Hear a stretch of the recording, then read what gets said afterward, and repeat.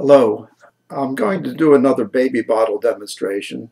Uh, these baby bottles with uh, a nipple without a hole in it are available from Educational Innovations. I've placed uh, one heaping teaspoon of sodium bicarbonate, baking soda, in this bottle.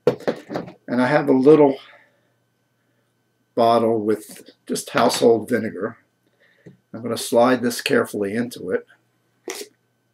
Now, as you know, um, vinegar and baking soda react, and one of the products is carbonic acid. I'll show you a detailed chemical reaction following this demonstration.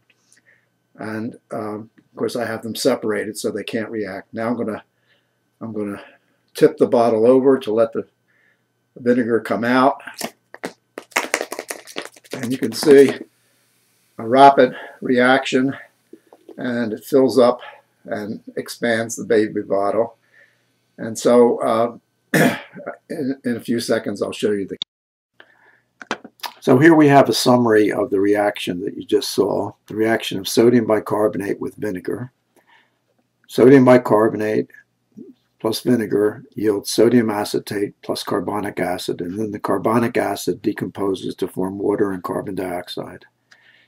This is the chemical reaction.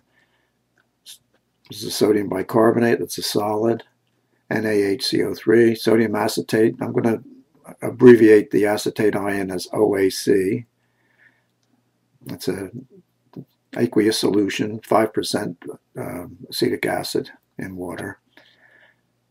Uh, sodium acetate is the product, and the other product is carbonic acid, which decomposes into carbon dioxide, which is the gas that fills up the uh, nipple of the bottle, and the water. So that's uh, the essence of the. Well, I hope you enjoyed that uh, demonstration, and now I'm going to release the uh, pressure here. Nice little demonstration. Again, the bottle with the nipple without a hole in it is available from Educational Innovations. Thank you.